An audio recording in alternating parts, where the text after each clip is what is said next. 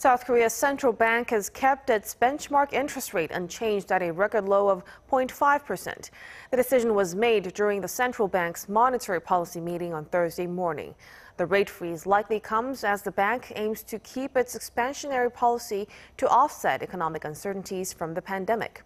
While exports and investments are growing, the country's service sector remains sluggish due to a surge in COVID 19 cases.